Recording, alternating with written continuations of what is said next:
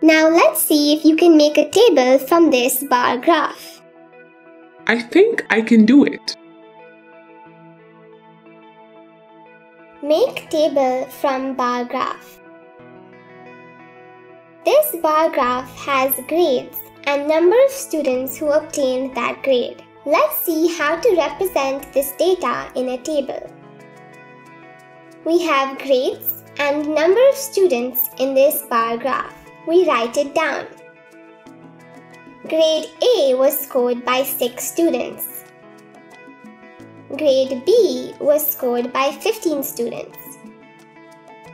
Grade C was scored by 10 students. And grade D was scored by 3 students. This is a table of grades and the number of students who obtained that grade.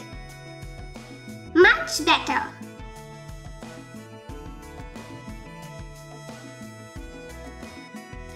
This is a bar graph of quantity of ice cream in a shop. Represent this in a table. Thank you for watching. Enroll now.